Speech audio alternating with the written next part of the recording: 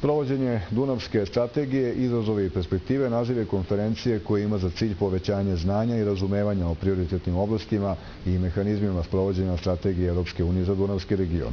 Osnovni stubovi ove strategije su povezivanje Dunavskog regiona, zaštita životne sredine u toku Dunava, izgradnja prosperiteta i jačanje Dunavskog regiona.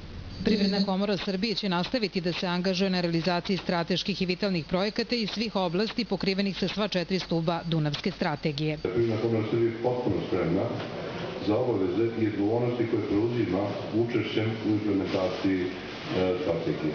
Želimo da budemo i matica, ujedno servis našim privrednicima, nosicima razvojnih projekata, kao i partnerima i učesnicima u realizaciji. Učešćem u strategiji Srbije je stekla velike razvojne mogućnosti u vezi sa razvojem infrastrukture zaštite životne sredine, turizma i transporta, ali i produbljivanje saradnje sa podunavskim zemljama. Iz tog razloga za uspešnu primjenu strategije i za realizaciju projekata koji doprinose ostvarenju njenih prioriteta, jako je važno učešće svih nivoa vlasti, ali i civilnog društva i privatnog sektora i mislim da današnji, e, današnji učesnici u ovoj konferenciji E, to dobro pokazuju. Vlastimir Matejić, predsednik Evropskog pokreta u Srbiji, je koristeći antičku metaforu objasnio cilj strategije. Šta će mi vetar u leđa ako ne znam u koju luku treba da stigne? Svuda oko sebe vidimo strategije, ali još ništa od rezultata koje te strategije očekuju.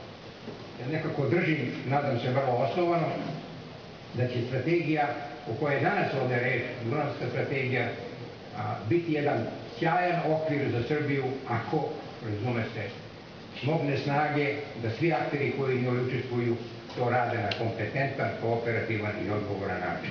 Osnovna ideja ove strategije je da samo siguran i region sa dobrim upravljanjem može postati istinski prosperitetan i atraktivan za život.